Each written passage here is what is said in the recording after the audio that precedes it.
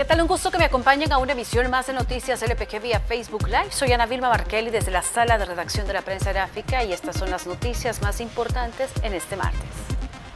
El ministro de Obras Públicas, Romeo Herrera, anunció que procederán a decomisar todos los vehículos que movilizan pasajeros y que no cuentan con autorización del Viceministerio de Transporte.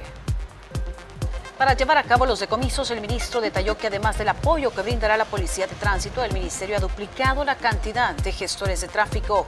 Asimismo, declaró que entre el 60% y el 80% de las unidades de transporte colectivo circularán a partir del 24 de agosto. Esto es equivalente a unos 11 mil vehículos. El candidato a diputado suplente y empleado del Ministerio de Gobernación Manuel Martínez Santana fue capturado el domingo por el delito de disparo de arma de fuego, según información publicada por la revista Facto. De acuerdo con el artículo de dicho medio de comunicación, Martínez fue capturado aproximadamente a las 11 de la noche por realizar disparos desde un vehículo sin placas en el Boulevard de los Héroes de San Salvador. Martínez es fórmula de la candidata a diputada propietaria por Nuevas Ideas y ministra de Cultura, Sueci Callejas.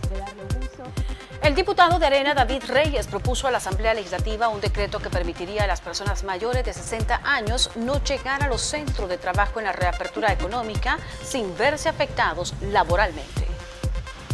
La propuesta establece multas de 1 a 3 años mínimos mensuales del sector comercio y servicios por cada infracción cometida.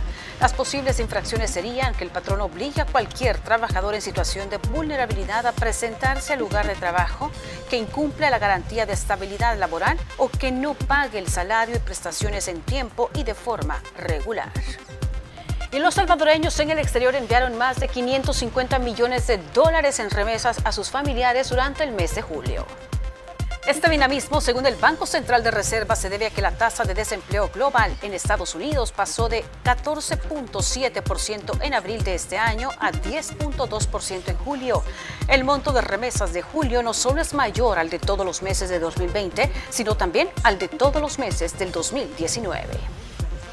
Gracias por haberme acompañado en una emisión más de Noticias LPG. Nos vemos mañana con más información como siempre. Hasta pronto.